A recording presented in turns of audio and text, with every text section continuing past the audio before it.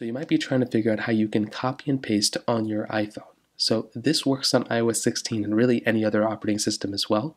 So what we're going to do is we're going to make our way over to our Safari browser and we're going to go and make our way over to a website like apple.com. So when we're here, all you want to do first of all is find the text that you want to copy. So some text is able to be copied, some text is not. So if it's a blue text like this, sometimes it won't let you copy it. You can maybe copy a link, but you won't be able to copy that text. So those things are called hyperlinks. You might not be able to copy those texts all the time.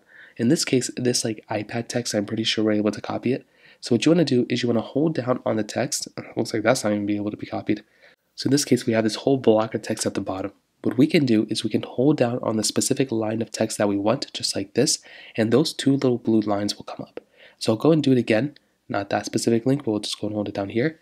So when you get this little pop-up that comes up, those two little indents will allow you to go ahead and kind of move things around to let you copy whatever you want to copy. So if I wanted to copy this whole block of text, I can move this first line down all the way here. I can move this other one all the way up here, and that will allow me to copy it. So then how do you copy? Well, you'll see this little pop-up come up at the top. You'll see copy, select all, and find selection.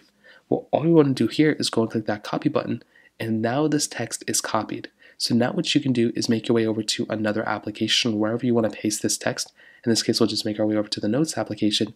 And here what we can do is we can just tap one time and that little pop-up will come up again. So now what we want to do is we want to go and click paste.